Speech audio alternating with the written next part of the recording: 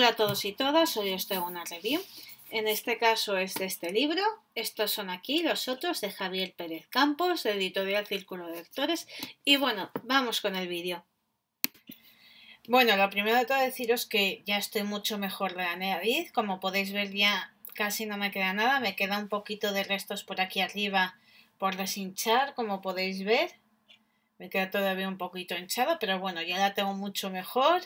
Como podéis ver ya está casi completamente bien, está recta sin ningún problema. Pero bueno, vamos con lo que importa que es el vídeo. Bueno, tiene, es un libro que tiene 450 y... lo diré ahora. Exactamente, creo que son 455, pero os confirmo. 459 y bueno, como siempre os voy a leer la sinopsis y os voy a dar mi opinión. dice, ¿existen representaciones antiguas de sombras que nos visitan? Si es así, ¿desde cuándo datan estas visiones? ¿Son seres que han fallecido cuyas almas o espíritus vagan sin descanso o se trata de algo mucho más ancestral? Presencias que llevan en este mundo mucho más tiempo que nosotros.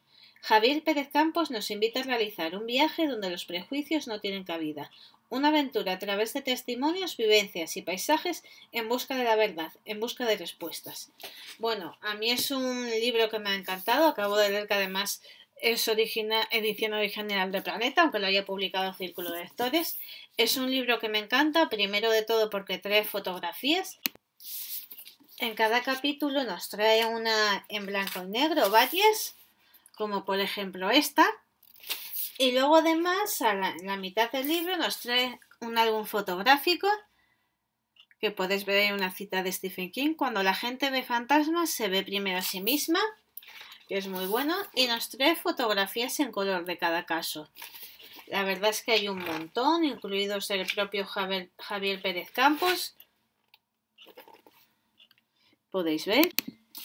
Bueno, también decir de este libro que aparte de las fotografías, lo que también me gusta mucho es que el autor hace una investigación siendo bastante objetivo, es decir, él va con, sin prejuicios, intentando investigar si es verdad o no los casos que han pasado.